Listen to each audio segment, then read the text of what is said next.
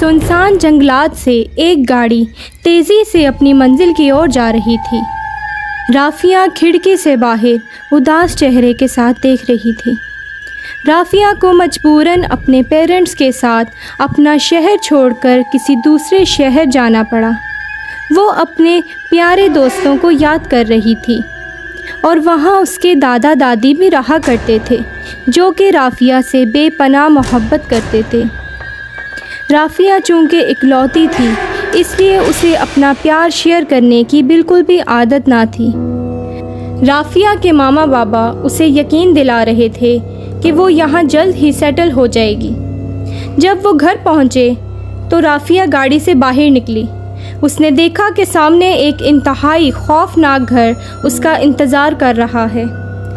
जब उसने अपने बाबा से पूछा कि ये इतना खौफनाक क्यों दिखाई देता है तो उन्होंने जवाब दिया कि बेटे भूत भूत कुछ भी नहीं होते। जब राफिया घर में दाखिल हुई तो वो जान गई कि इस घर के साथ वाकई कुछ गड़बड़ है। ओह माय गॉड ये घर तो भूतिया दिखाई दे रहा है।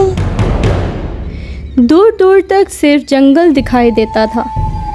राफिया ने रात को जब सोने की तैयारी की तो उसे मीठी मीठी नींद आने लगी। जब उसकी आँख लगने लगी तो उसने अजीबो गरीब ड्रॉनी खौफनाक आवाज़ें सुनी। कौन है?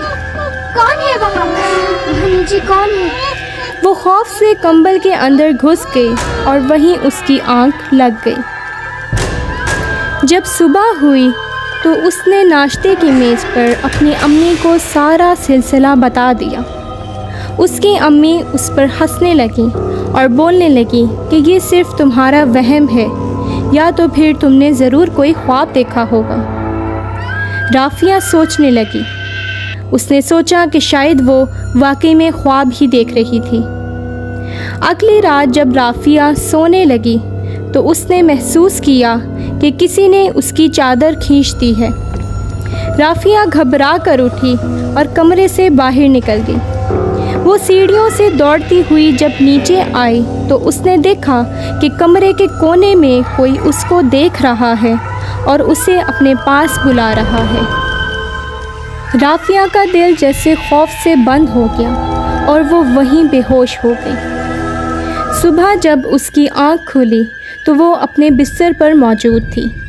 उसने अपनी अम्मी को सारी कहानी सुनाना चाही, पर उसकी अम्मी फ़ोन पर किसी से बात करने में मसरूफ़ थी और राफिया को टाइम ना दे सकें।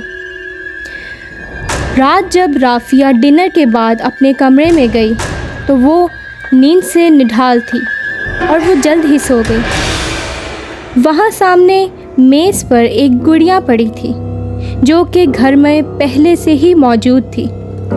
उसकी अम्मी ने राफिया के रूम में रख दी थी ताकि वो उसके साथ खेल सके। जब रात के तीन बजे तो अचानक से राफिया की आँख खुली तो उसने महसूस किया कि वो गुड़िया उसके साथ बिस्तर पर लेटी हुई है। ये गुड़िया यहाँ पर कैसे है राफिया की जैसे चीख ही निकल गई। उसने उस गुड़िया को बेसमेंट में फेंकना पसंद किया और कांपती हुई वापस अपने कमरे में आई। तो उसने देखा वो गुड़िया वहीं बिस्तर पर पड़ी थी।